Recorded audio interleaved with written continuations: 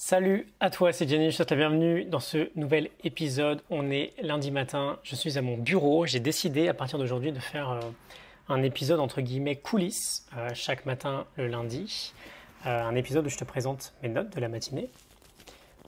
On va parler ce matin de, je fais un petit programme ici de régularité, notamment dans le sommeil. On va parler d'apprentissage, on va parler du triangle de Karpman et on va parler de petite, finir une petite citation de, Mark Twain qui, m'inspire beaucoup en ce moment, que j'ai partagé d'ailleurs hier dans le, dojo. Le dojo, c'est euh, mes sessions de, de, coaching en live que je donne euh, au groupe euh l'OCC, l'Optimize Coaching Club, qui est mon, mon, club de coaching. On a eu d'ailleurs hier Carole, Gwen, Jérôme, Benjamin et Cédric, je crois, qui sont passés hier. C'est très intéressant. alors, ce matin, comme tous les matins, je prends ma bague, mon Aura Ring, j'ai remarqué d'ailleurs que je l'avais officiellement depuis 18 mois. Joyeux anniversaire. Euh, je regarde mes stats euh, de, sommeil sans aucun jugement, bien sûr, pensée neutre, euh, juste pour voir à peu près ce que ça donne. Et comme on est indiqué, j'ai le petit rapport de la semaine qui, pour la deuxième fois d'affilée, me félicite sur ma régularité. Ma régularité, pardon. Et je suis vraiment ravi de ça, de, progresser là-dessus, parce que c'est bon, un sujet, moi, qui a été toujours très compliqué de, sur ces 4-5 dernières années. Euh, alors quand je dis 4-5 dernières années, c'est sur le, la période où je travaille sur mon sommeil. Hein. Avant, j'en parle même pas, c'était encore plus catastrophique. ça a toujours été assez délicat d'avoir une, très très belle régularité. Euh, et, là, je sens que j'ai passé un, gap encore dans, dans, l'engagement. Euh, un cap, pardon, faut que j'arrête avec le gap dans, l'engagement. Et bah, c'est très intéressant. En fait, l'idée, c'est vraiment de base que la régularité, si on veut optimiser son sommeil, la qualité de son sommeil, c'est vraiment la première chose à réussir à mettre en place. Euh, être régulier dans ses horaires de coucher et de lever, c'est le meilleur moyen d'être en phase avec son rythme circadien. Si on fait le yo-yo sur les horaires en permanence, on perd en qualité. Alors que quand on arrive à être beaucoup plus constant, on a, on a ce, petit, ce petit euh, euh, boost en qualité de sommeil hyper important. Une histoire de rythme circadien, je te l'ai dit. Et alors, à côté de ça, voilà, j'ai noté du coup, là très récemment, mes, horaires de, coucher et de lever de sommeil. Et je suis vraiment satisfait de voir que bah, c'est plutôt régulier 20h52, 21h23, 21h33, 21h12, 21h15, 42, 25, 22, 21h03, 21h24, 34 et 20h51. Euh, je me couche assez tôt, euh, simplement parce que, euh, tu le sais sans doute, aujourd'hui je pousse beaucoup sur un plan sportif. Et bah, je m'entraîne très dur, c'est très intense, et je veux être un professionnel dans ma récupération. Je sais que c'est dans la récupération qu'on tire les bénéfices de nos sessions sportives. C'est pas forcément à la salle de sport. Donc, euh, je vise en moyenne 9 heures au lit. Pourquoi 9 heures? Parce qu'on a un sommeil effectif en moyenne de 85-90% par rapport à notre temps de sommeil. Euh, et, donc, si je veux être sûr d'avoir entre mes 7 et 9 heures de sommeil euh, quotidienne, je, je, pars sur minimum 9 heures au lit. Et donc, euh, voilà, c'est pas si mal que ça. J'ai une moyenne, donc là c'est ma colonne avec mon, sommeil effectif. 8h17, 7h25, 44, 58, 9h22. Là, je dois devoir pousser un peu plus sur un entraînement. 7h42, 37, 8h55, 24, 27, 8h30, 8h06. Voilà, c'est relativement constant. Et je suis vraiment ravi de, euh, cette idée-là. Et, de, du coup, te tenter de te montrer l'exemple là-dessus. C'est quelque chose que toi aussi tu, tu vises au quotidien. Euh, tout ça part du, du Carpe Diem Journal hein, et de cette réflexion sur le professionnalisme dans, ma démarche. Euh, le Carpe Diem Journal, c'est un, exercice fort aussi hein, qu'on a dans, dans l'OCC. Euh, il y a un groupe Facebook qui, qui vient avec, on, le partage chaque matin. Euh, Carpe Diem Journal, j'en ai, parlé plusieurs fois, hein. c'est euh, un travail sur énergie, travail, amour, trois catégories, et sur trois niveaux. Identité, vertu, comportement. Identité, Spartan athlète, vertu, comportement. Identité, coach et leader, vertu, comportement, identité, sœur, coach et comportement. Ok, là mon comportement sur un plan énergie, c'est mon workout de 9h tout à l'heure. Sur un plan travail, c'est mes trois sessions de deep work. Sur un plan euh, amour, ça sera ma 18h plutôt smartphone. Le 18h rangé, éteint dans le placard à partir de, de pardon, à partir de 18h, plus de smartphone rangé dans le placard. Euh, bref, donc c'est le premier point sur la régularité. C'est toujours euh, euh, c'est toujours la clé, hein, euh, régularité dans nos fondamentaux, notre protocole, dans ce qui marche bien au quotidien. On a envie de l'embrasser et euh, je suis ravi aujourd'hui d'avoir des preuves concrètes grâce à, mes données que je suis sur la bonne voie là-dessus. ensuite, l'apprentissage. Alors, cette semaine, on aura trois épisodes. Hein. Je fais un petit, un petit break. On aura Black Box Thinking de Mathieu Sayed. On aura Antifragile de Nassim Nicolas Taleb et on aura Mastery de George Leonard. On fera ces trois épisodes. Euh, hop, excuse-moi. On fera ces trois épisodes-là euh, mercredi, vendredi et dimanche. Euh, deuxième point, la semaine de l'apprentissage. Je lance cette semaine sur très rapide. Hein, j'organise par mail en fait une semaine d'apprentissage. Donc en fait 7 mails, 100% focus sur la thématique de comment apprendre, sur la thématique d'apprendre à apprendre. Ce sera une petite série en 7 euh, épisodes que j'enverrai tous les matins à 8h30 jusqu'à euh, dimanche matin. C'est réservé à mes abonnés privés. Donc euh, si tu es déjà abonné, tu vas recevoir ça. Tu as déjà commencé à recevoir ça ce matin normalement. si ce n'est pas le cas, tu peux t'inscrire ce n'est pas encore fait ça t'intéresse. Évidemment, c'est des mails privés gratuits.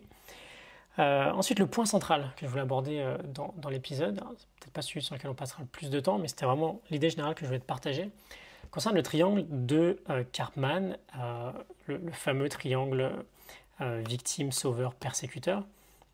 le contexte, très rapide, on en a parlé dans le dojo d'ailleurs hier, on en a parlé aussi dans, les sessions, dans des sessions de coaching que j'avais, où c'est moi le, le coaché très récemment.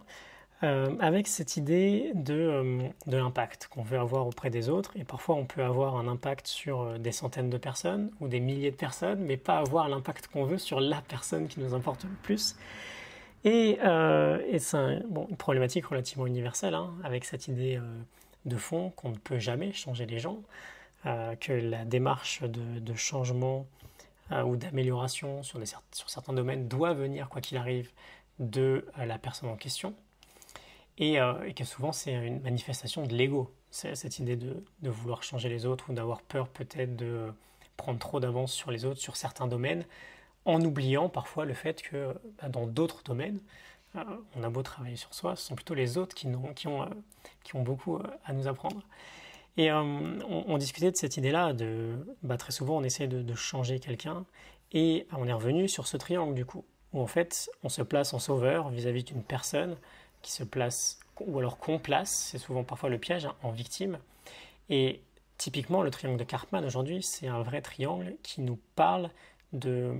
Qui, c'est une vraie métaphore de, de la victimisation qu'on pourrait connaître dans nos comportements au quotidien.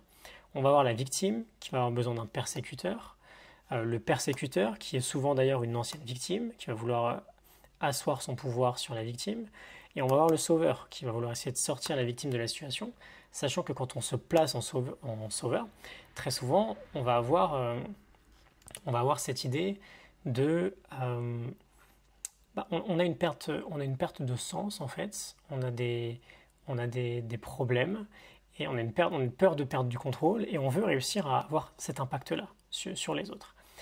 Euh, c'est très intéressant de noter que euh, quand on est en sauveur, on est aussi une victime.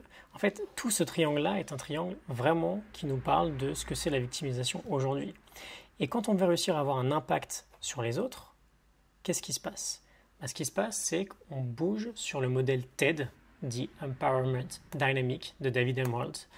TED, le modèle TED, c'est euh, un modèle où en fait on n'a plus de victimes, mais on a un créateur. On n'a plus de persécuteur, on a un challenger et on n'a plus un sauveur, on a un coach. Et la différence qu'il y a entre les deux, entre passer de ce modèle-là à ce modèle-là, c'est cette différence fondamentale qu'on aborde en permanence, qui est, passé, qui est de passer pardon, du, euh, du victime, de la victime, pardon, au créateur. On passe de la victime au créateur. On passe d'un mode où on est dans euh, la plainte, dans le rejet de la réalité, à un mode où on devient responsable et on crée notre propre réalité. Et très souvent, ça peut être intéressant, si on est dans, une des, trois situations-là, victime, sauveur ou persécuteur, de voir comment on pourrait progressivement euh, déménager, entre guillemets, vers un modèle où on serait plus sur bah, créateur, challenger, coach. Dans le sens où on n'est plus une victime, on devient un créateur, il n'y a plus de persécution, il y a un challenge, c'est-à-dire que le problème ou la personne qui va nous persécuter, on va la considérer comme étant un challenge. On a des vraies idées euh, de, de travail euh, héroïque là, avec, euh, avec Joseph Campbell finalement, de cette, je mets du crayon sur le bureau, de cette idée de passer toujours sur un mode de voilà, j'ai plus de problèmes, j'ai des challenges, je suis plus une victime aujourd'hui, je suis responsable, je crée mon quotidien.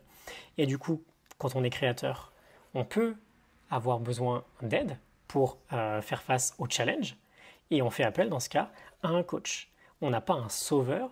Le sauveur en général, il est, content d'avoir une victime parce qu'il va avoir l'impression qu'il n'y a, que lui en fait qui peut le, sortir de là. Le créateur, la différence, c'est que la relation elle est dans les deux sens.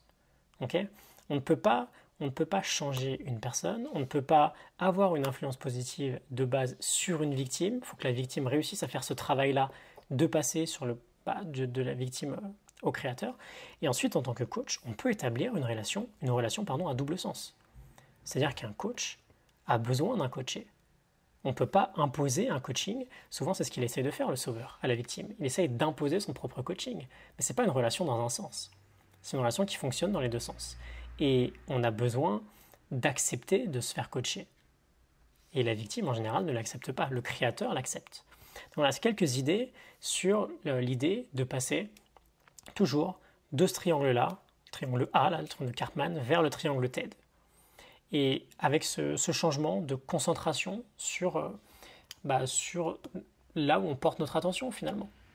Euh, le premier triangle, victime, le sauveur, le persécuteur, on a toujours notre concentration sur ce qu'on ne veut pas, sur euh, les problèmes qu'on a dans notre vie, sur... Euh, bah, c'est de la plainte, ok sur, ce qui ne marche pas. Le créateur, il, se, ne se concentre pas sur ce qui ne marche pas, il se concentre sur qu'est-ce qu'il va faire. ok Et je pense que ça peut être vraiment une vraie question intéressante au quotidien quand on est dans un de ces trois domaines-là, surtout victime ou le sauveur hein, finalement, bah de se dire, ok, qu'est-ce que je fais de ça? Qu'est-ce que je fais? Et évidemment, bah, quand on est une victime et qu'on, enfin, est une victime, quand on se place en victime et qu'on commence à se demander qu'est-ce que je vais faire, comment je vais résoudre ces problèmes, comment je vais faire face à ces challenges, on s'offre beaucoup plus de, solutions au quotidien. Voilà, c'est le, on pourra aller en plus en profondeur sur cette idée-là. Euh, c'est le euh, The Empowerment Dynamic de David M. Rold. Euh, très très bon. Et je vais juste conclure avec cette citation de Mark Twain qui me travaille énormément en ce moment. Quand tu te retrouves euh, du côté, quand je me retrouve, pardon, c'est ce qu'il nous dit, quand je me retrouve du côté de la majorité, je m'arrête et je réfléchis. Quand je me retrouve du côté de la majorité, je m'arrête et je réfléchis. Je te laisse, laisse voir ce que, ça t'évoque. Et euh, je te retrouve à partir de mercredi pour la suite. Donc mercredi, ce sera Black Box Thinking de Mathieu Sayed. Je vais, je pense, filmer les épisodes euh, cet après-midi.